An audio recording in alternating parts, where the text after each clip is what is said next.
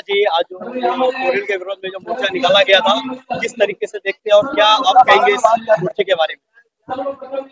मोर्चे के बारे में ऐसी बात है कि सब लोग ने मतलब विरोधक ने रोकने का प्रयत्न किया।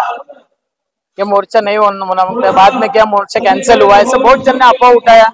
लेकिन बहुत अच्छी पब्लिक थी, लाखों की संख्या में पब्लिक थी और ये आंदोलन जो जन आंदोलन है, ये किसका, खुद का घर का आंदोलन नहीं है, ये सबके लिए आंदोलन है। भिवंडी और भिवंडी ग्रामीण। तो इसके लिए लोग जमा होंगे। लोगों को इतनी तकलीफ़ हुई है कि टोरेंट का तीन पट, चार पट जो आज ये कर रहे हैं, बिल दे रहे हैं।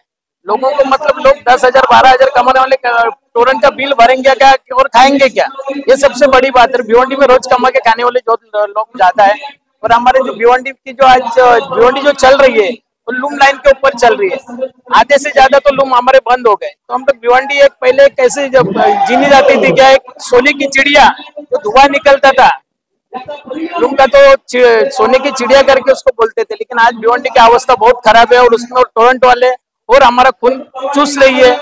ये नहीं होना माँगता है किधर तो रुकना माँगता है। और ये उसके विरोध में दूसरी कंपनी आएगी तो ये होएगा, ये तो कुछ होने वाला नहीं है। तो जिम्मेदार सरकार भी सरकार तो सुनना ही पड़ेगा। ये जन आंदोलन ऐसे होते रहेंगे और सब पब्लिक एक साथ रास्ते पे उतरेंगी। और उसके बाद जो अपने एक, जो आज एक इधर ये हुआ था, जो आदित्य जी का जो वार्ड है, उधर एक कैसी ये हुई थी क्या उधर रिलायंस कंपनी के लिए हटाने के चक्कर में लोग लगे थे।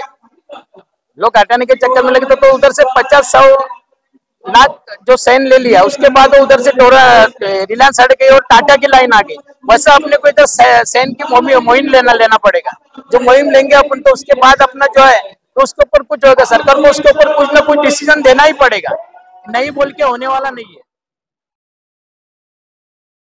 सब्सक्राइब कीजिए हमारे चैनल को और बेल आइकन को दबाइए। हमारी लेटेस्ट वीडियो सबसे पहले।